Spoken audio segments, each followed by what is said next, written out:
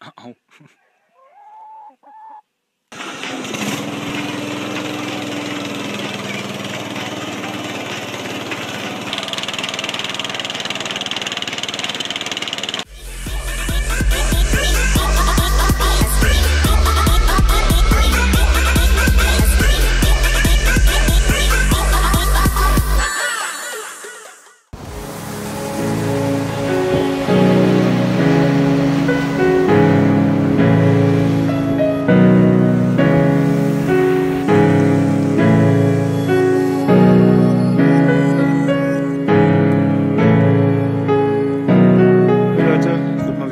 Zeit für ein bisschen Gelaber. Hä? Hä? Das ist ja schon lange her.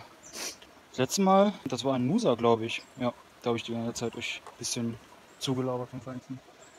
Ich bin mal wieder alleine. Vielleicht stink ich.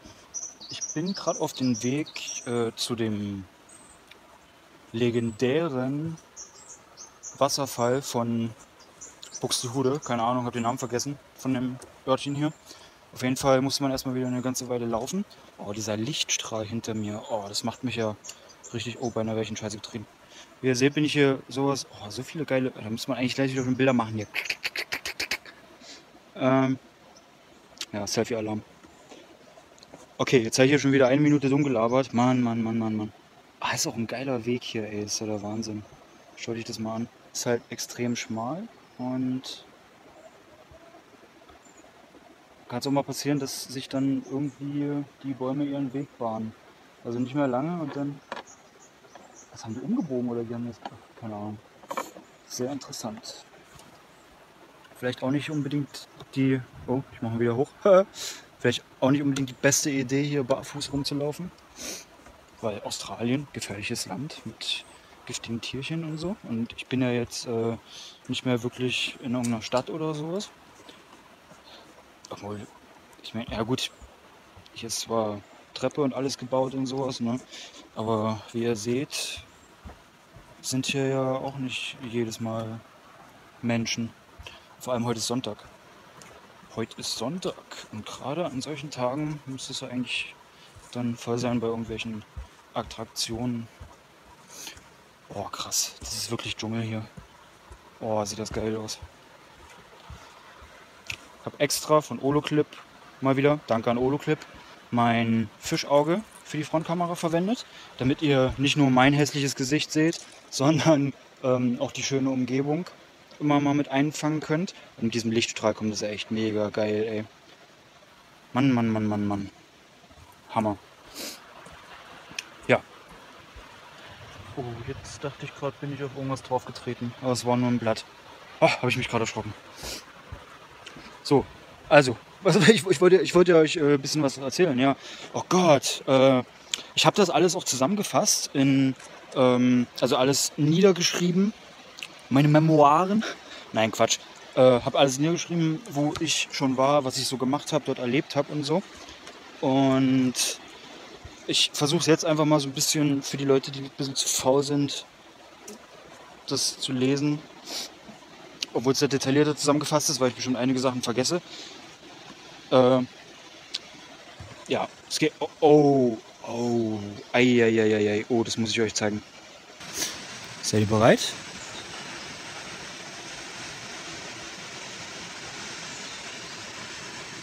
Ist das nicht geil? Da seht ihr. Mega geil. Und da oben war ich vorhin. Der ist echt riesig. Und jetzt gehe ich halt zum Fuß. Foto. Hammer. Ich komme ich komm irgendwie gar nicht zum Reden hier. Ich merke schon. Also ich, ich, muss, ich muss da irgendwie wieder einen Cut machen für das Video oder so. Ich dachte nur, das ist hier ein schöner Weg. Oh, es hat gedonnert. Es donnert schon die ganze Zeit. Nicht, dass ich dann hier auf einmal untergehe. Also. Oh Gott, wo war ich denn überall? Oh. Also, in Sydney angefangen. ich bin in Sydney angekommen. Da habe ich dann erstmal, ähm, wie soll es anders sein? Oh. Wie soll es anders sein, habe ich dort zwei Deutsche kennengelernt, direkt am Flughafen. Und die sind auch mit demselben Flugzeug gekommen. Und ja, mit denen habe ich dann halt erstmal so die, die erste Woche in Sydney verbracht. Also, oder was heißt, erste Woche mit denen verbracht. Also eigentlich bin ich sehr viel alleine unterwegs gewesen, weil die beiden Jungs, ähm, die, die haben sich nicht wirklich Sydney angeguckt. Äh, man hat irgendwie ein bisschen aneinander vorbeigeredet, war ein bisschen eigenartig. Aber das macht ja alles gar nichts. Ich habe dafür neue Leute kennengelernt und äh, halt auch wieder Deutsche drunter, aber auch natürlich äh, anderssprachige, was äh, mir zugute kommt, weil ich nicht unbedingt die ganze Zeit mit Deutschen zusammenhängen wollte, war mein Gedanke zu der Zeit. Und ja, ich habe in Sydney halt sehr viel angeguckt. Da ja, Opera-Haus, ne, gleich am ersten Abend. Und die Harbour Bridge, auch sehr schön. Hab davon auch schon zig Fotos und Videos gemacht und vor allem Fotos auch bei Instagram hochgeladen. Ja, dann ähm, Botanical Garden, auch sehr, sehr schön. Also, wenn man in Sydney ist, muss man da hingehen. Der ist auf jeden Fall auch kostenlos. Und Sydney hat auch einige Museen, die kostenlos sind. Die kann ich euch nur empfehlen. Das, was mir besonders im Gedächtnis geblieben ist, weil die Kunst da drin halt einfach total komisch ist, da dachte ich mir, ey geil, da kann ich mich ja auch einreihen. Nächstes Projekt. Ich hoffe, das kommt irgendwann mal raus. Liegt nicht in meiner Hand. Zumindest was das Editing angeht. Deswegen kann ich das leider nicht versprechen, wann das kommt. Aber es wird kommen. Hat sehr viel mit meiner Kunst zu tun und mit einer anderen Kunst kombiniert. Hat sehr viel Zeit in Anspruch genommen und war sehr anstrengend. Einer meiner größten Projekte auf jeden Fall. So, lange genug äh, geredet über ein Projekt, was wahrscheinlich erst in drei Jahren kommen wird. also ich war in Sydney und ähm, dieses Museum, wo ich drin war, dieses äh, total eigenartige, aber ziemlich coole Museum, heißt Contemporary Museum. In Sydney ist es so, dass die ihre Museen ähm, immer wieder einen anderen Namen geben. Zumindest habe ich so das Gefühl. Schreibt es in die Kommentare, wenn das nicht der Fall sein sollte. Also die haben immer verschiedene Themen und danach benennen sie dann das Museum. Aber das kann ja irgendwie auch wieder nicht stimmen, oder? Da habe ich schon irgendwas falsch verstanden. Weil dann, dann, dann, weiß nicht, guckt man ja immer wieder, also wenn man mal wiederkommen will oder so, auch in das Museum will ich nochmal. Und äh, dann ist es auf einmal nicht mehr da. Steht aber an der gleichen Stelle. Und dann wundert man sich.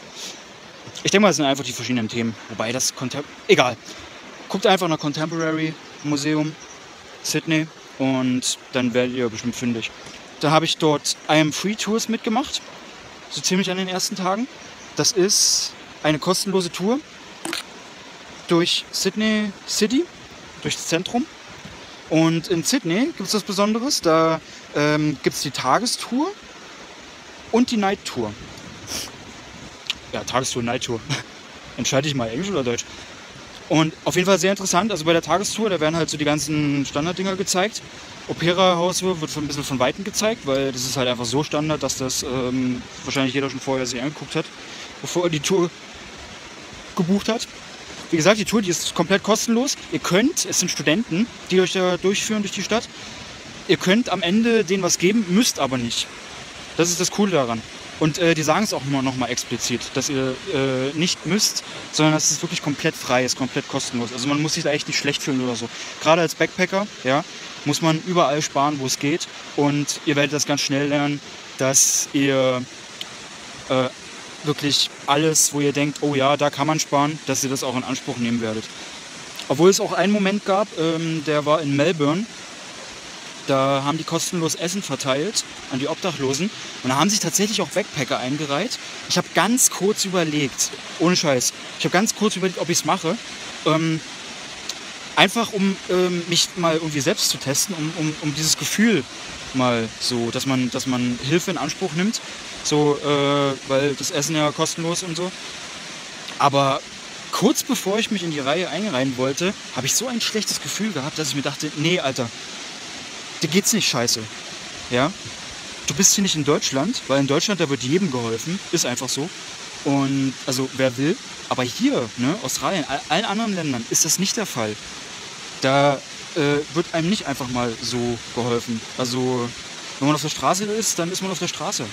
Und das ist mir durch den Kopf gegangen und dann dachte ich mir, nee, Alter, mir geht's jetzt nicht irgendwie so schlecht. Entschuldigung, mir geht es nicht so schlecht. Lass es wirklich den Leuten, denen es gerade echt scheiße geht. Ne? Und äh, da waren manche in der Reihe, wo man echt gesehen hat, die haben sich, glaube ich, monatelang nicht gewaschen. Und obwohl es in Australien eigentlich auch kein Problem wäre, da einfach mal ins Meer zu springen oder so. Oder die öffentlichen Duschen. Naja. Auf jeden Fall, lange Rede, kurzer Sinn, habe ich mich nicht eingereiht. Die Erfahrung, dass ich das gesehen habe und kurz davor war, hat mir gereicht. Ja. Ähm, Sydney war ich zwei Wochen, bin dann auch mal kurz in Manly gewesen, habe dort viermal mein ähm, Hostel gewechselt. Bin einmal auch ein bisschen außerhalb von Sydney gewesen. War eine Erfahrung, werde ich nicht mehr machen, weil das äh, war ziemlich billig, war aber auch ziemlich dreckig, ekelhaft. Obwohl ich mit sowas eigentlich nicht so ein Problem habe, da lache ich drüber, weil ich will diese Erfahrung ja auch haben, sammeln. So, jetzt äh, wird es ein bisschen lauter, wir sind schon ziemlich nah dran. Und da unten sind auch Leute. Ich werde hier mal einen kleinen Cut machen. Sagen wir mal, das wird ein Zwei- oder Dreiteiler, ich habe keine Ahnung. Werden wir sehen. Euer Hendrixer. Wenn euch mein Gequatsche gefallen hat, dann guckt gerne den zweiten Teil an. Wenn nicht, guckt den zweiten Teil trotzdem an. Vielleicht wird er ja besser. Der wird tausendmal besser. Haut rein. Leute, die schon mal Far Cry gespielt haben, das Spiel, die haben hier, glaube ich, eine, eine Heidenangst. Die wissen ganz genau, was ich damit meine. Ja? Riesen Wasserfall und dann halt so ein kleiner See, Pool, wie auch immer. Und dann ganz nah ran und das Wasser ist so dunkel und uh, springst rein, schwimmst ein bisschen und auf einmal kommt ein Krokodil oder so. Und das ist in Australien ja nicht mal verkehrt mittlerweile. Wurde gesagt. Steht in den Zeitungen.